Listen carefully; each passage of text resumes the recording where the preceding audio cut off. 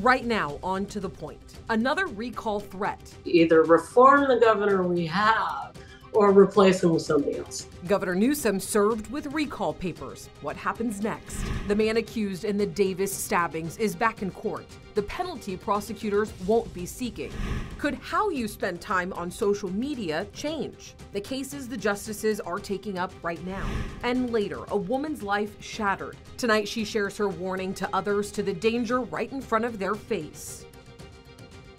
Thank you for joining us for To The Point. I'm Alex Bell. And first tonight, California's governor is facing another recall campaign. This one launched today by the very same people who unsuccessfully tried to recall Gavin Newsom back in 2021. If you remember, Becca Habegger got reaction and insight from a variety of voices, including the leader of this recall campaign and those who say the effort doesn't stand a chance.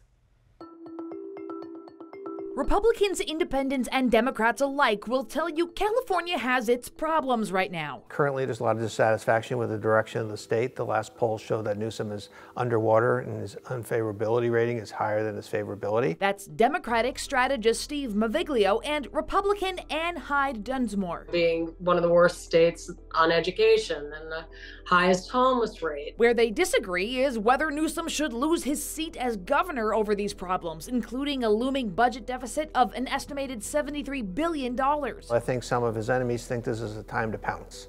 Uh, but recalling somebody and being dissatisfied with somebody are two completely different things. Hyde Dunsmore with Rescue California is leading the latest effort to recall Gavin Newsom, announced Monday morning. He isn't going to be governor of California one way or the other after three years.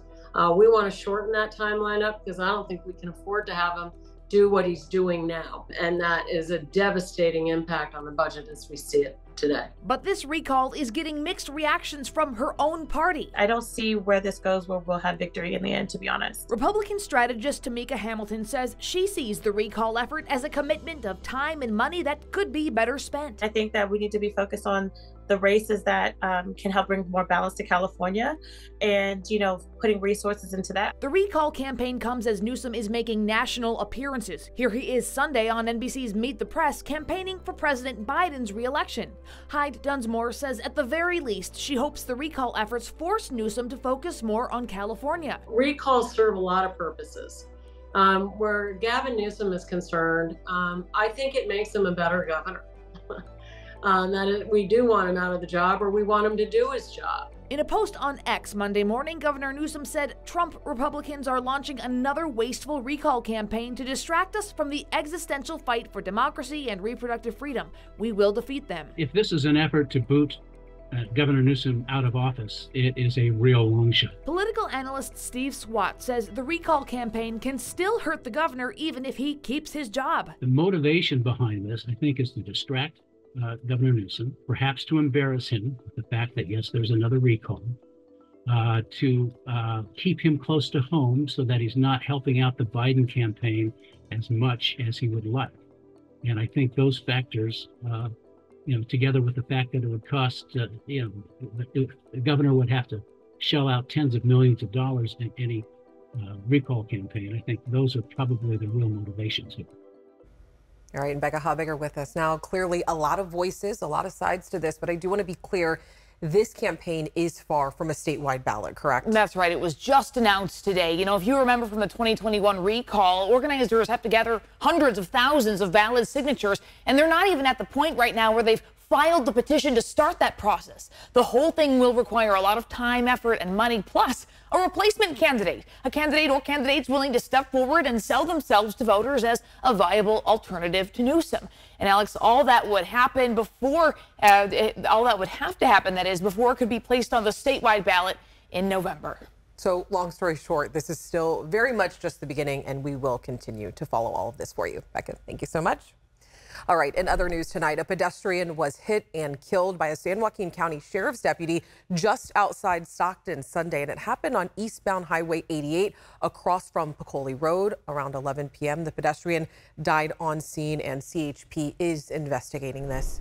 The Davis stabbing suspect was back in court today for a preliminary hearing. This hearing will determine whether there is probable cause to believe that suspect Carlos Dominguez committed the stabbing and if this case will go to trial. So the district attorney's office says they will not seek the death penalty. While in court today, Dominguez appeared largely emotionless, mostly looking down or straight ahead as several officers and detectives were called to the stand. Now he faces murder charges related to the deaths of 50 year old David Breaux near Central Park and then 20 year old UC Davis student Karim Abou Najm near Sycamore Park. And today, Corporal Fang Lee with the Davis Police Department testified.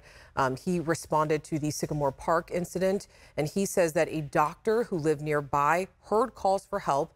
And he says that the doctor had a brief interaction with the suspect at the scene and tried to go after him before he got away on a bike. Prior to fleeing on a bicycle, the uh, suspect um, told uh, Dr. Massey uh, something to the effect of, um, uh, What's going on? Uh, why are you bothering me? Leave me alone. And then he took off on the bike. Dominguez faces charges including murder and attempted murder. He is expected to appear in court again tomorrow afternoon when the preliminary hearing is set to resume. Today also marks the start of a historical trial in Roseville where a man is facing murder charges related to fentanyl. So 20 year old Carson Shuey is facing charges in the death of Cade Webb back in December of 2021. Today, a jury was selected in the case. Now, previously, prosecutors with Placer County had to convince a judge that Shuey knowingly endangered Webb in order for a murder charge to be filed. And during that time, District Attorney Morgan Gire shared evidence that two of Shuey's friends, including his girlfriend, overdosed before Webb. Shuey has pleaded not guilty, and the trial is expected to start back up tomorrow morning around 8:30 with opening statements and witness testimony. SeaQuest. It's an interactive aquarium out in Folsom where customers can touch, pet, and feed not just fish, but a large number of wild animals. Now, insiders are coming forward saying that SeaQuest is unsafe for animals and customers. Investigative reporter Andy Judson has been looking into SeaQuest and joins us tonight. Yeah, Alex, no daylight, small enclosures, and being forced to interact with people without proper breaks. Those are the conditions former employees say animals have to endure at SeaQuest. Here's a preview of our investigation. Can you imagine not going outside when you're a wild animal?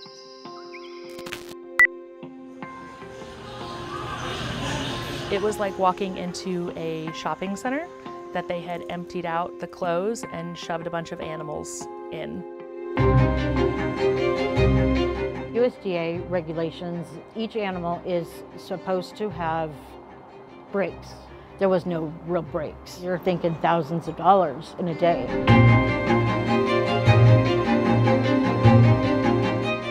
1,500 different species of animals among five different continents. Everything is hands-on. We couldn't even see the animal that we were feeding. It was just filthy. The thing just completely came out of the water and got her hand. There's no excuse for animal abuse! I think it's awesome Folsom needed a place like this. I think SeaQuest is a recipe for disaster.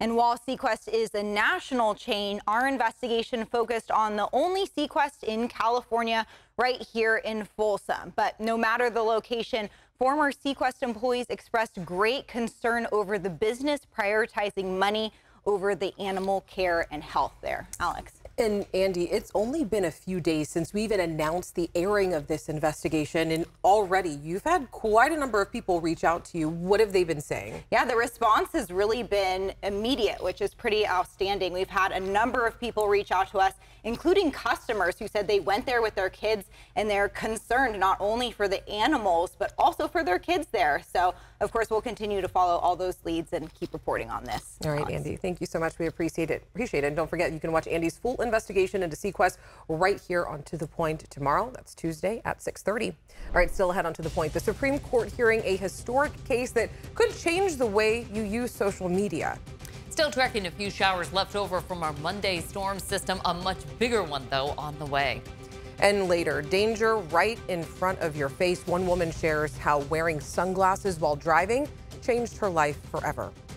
We shouldn't have to think about it when we put sunglasses on our face that we might have to lose our eyesight, that we might be partially blind or blind because of something that we're wearing on our face.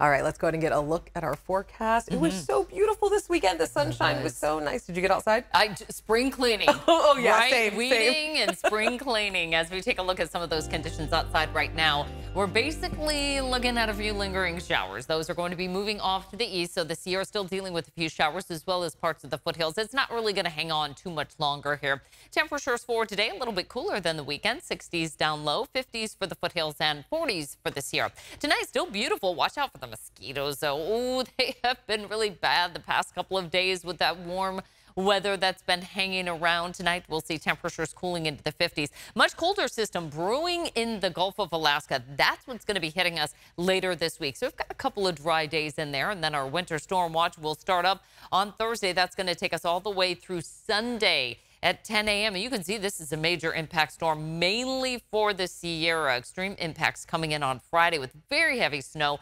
Sierra gusts up to about 60 plus miles per hour. And our snow level during the evening on Saturday and through early Sunday down to about 1,500 feet. Not much of a rain producer for us. We'll get rain. It's just not going to be the high impact storm that we will see in the Sierra. Again, this all gets going on Thursday, really ramping up overnight Thursday through Saturday, even in through Sunday morning, and then we'll start to see things clearing out. So really the big impacts are going to be Thursday night, Friday through Saturday.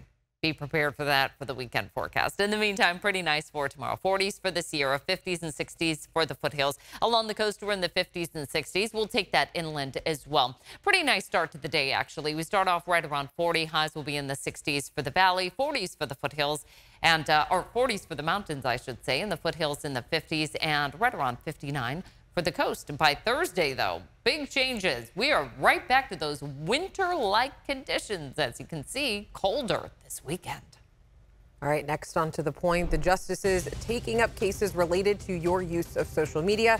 What's on the line? Plus, were you affected by last week's AT&T outage? You could be eligible for a credit. We'll explain after the break.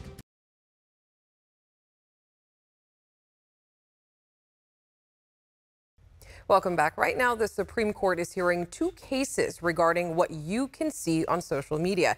They're weighing how the First Amendment applies to social media companies as they consider a pair of cases that could transform how the internet has operated for decades.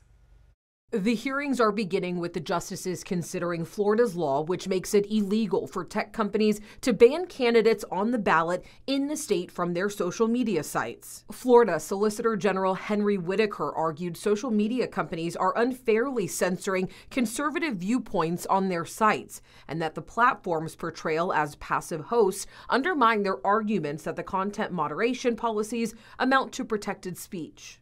We agree, we certainly agree that a newspaper, a book, and a bookstore is engaging in inherently expressive conduct. And our whole point is that these social media platforms are not like those. And But why doesn't are it depend on exactly what they're doing? Justice Sonia Sotomayor questioning if the law is overly broad, going on to name a wide range of companies that could be affected, like the digital marketplace Etsy. This is so, so broad. It's covering almost everything. Justice Amy Coney Barrett echoing her colleagues. We're talking about the classic social media platforms, but it, it looks to me like it could cover Uber. It looks to me like it could cover just Google search engines, Amazon Web Service, and all of those things would look very different. Paul Clement arguing on behalf of NetChoice, a group challenging the Florida law, drawing a clear distinction between a government and a private party engaging in content moderation. Is it anything more than a euphemism for censorship? If the government's doing it, then content moderation might be a euphemism for censorship. If a private party is doing it, content moderation is a euphemism for editorial discretion. And a ruling that would force tech companies to have no editorial discretion could affect their business models, which rely on curation to attract advertisers and users. A court decision is expected in June. All right, in your voice, your vote, the 2024 presidential election. Over the weekend, former President Trump won the South Carolina Republican primary. Even after losing a top donor, Nikki Haley is vowing to stay in the race at least until Super Tuesday. And it comes as both candidates gear up for tomorrow's primary in the critical battleground of Michigan. Right now, polls show Nikki Haley trailing Trump by as much as 60 points. California's primary election is just one week away. More than a dozen vote centers are now open in Sacramento County. If you didn't know, they will be open every day through Election Day, which extended hours on Election Day. At each vote center, people can register to vote. You can vote early in person and drop off your ballot if you received one in the mail. And here at ABC 10, of course, we want you to feel prepared to make your vote and to make your vote and have your voice heard. So make sure you join us on Thursday at 6:30 for a special election edition of To the Point for more on how to vote and the key local races that you should be watching. Now to your price points tonight. Have you been spending less money at the grocery store? Well, you could be helping slow down inflation. With prices on average nearly 20% above pre-pandemic levels, the AP says the latest trends among consumers include shifting away from buying name brands or just buying less. And that may be pushing companies to slow down their own price increases. And AT&T is offering $5 to subscribers affected by last week's service outage. The credit will show up on your bill, though it will not apply to business accounts or people who use Cricket, which is the low-cost wireless service. And the Federal Trade Commission is suing to block a proposed merger between grocery giants Kroger and Albertsons. The FTC says the $24.6 billion deal would eliminate competition and lead to higher prices for millions of Americans. And Kroger and Albertsons, two of the nation's largest grocers, agreed to merge back in October of 2022. The company said a merger would help them better compete with Walmart, Amazon, Costco, and other big rivals. All right, next on to the point. It's a danger in front of your eyes every time you drive. One woman shares how a pair of sunglasses changed her life forever.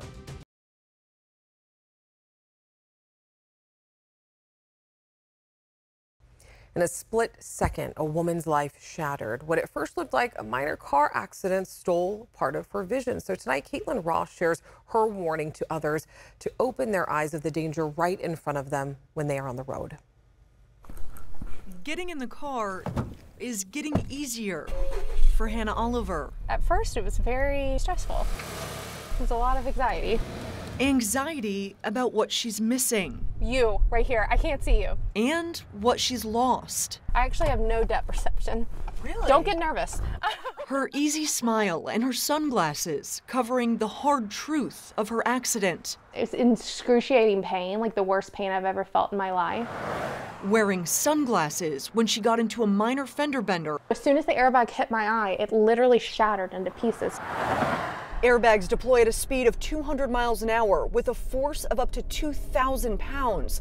That's an impact most sunglasses just can't withstand. Hannah lost her right eye just three months before her wedding. Finding the courage to talk about it online. When a video goes viral, it's like, do do do do do. My airbag came out hit my precious designer sunglasses and they shattered into a million pieces. She found out she wasn't alone. I've connected with hundreds of people that have lost their eye the same exact way. People have lost their eye through sunglasses, and it's because we're not making them safer. I've got a pair here. Safety is something optometrist Frank Winsky thinks about a lot. The eye doctor says anyone getting behind the wheel with glasses or sunglasses should have polycarbonate lenses in the frame frame. It's basically shatterproof, where it'll take a significant impact and not break. The polycarbonate material is more expensive than glass or plastic, but tested rigorously for safety. What I could only find was like sporting sunglasses or like fishing sunglasses, but I am a girl's girl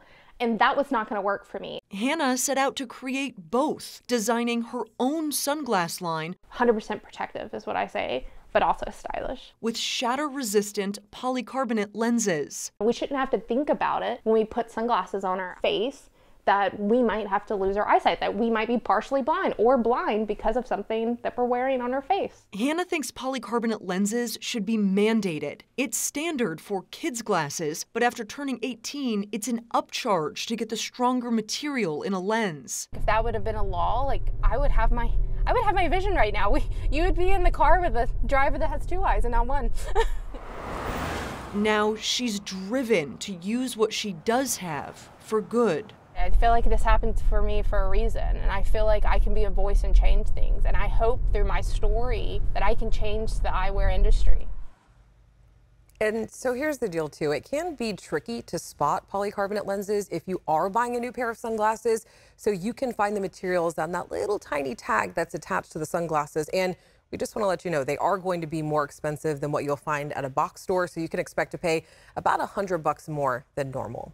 All right, thank you so much for sharing your stories with us. We always love getting to meet you. So if you have something that you think we should be looking into, make sure you reach out to me and the team. Remember, strangers are just people that we haven't gotten to know yet. Take the time to get to know someone. Have a great night, and I'll see you right back here tomorrow.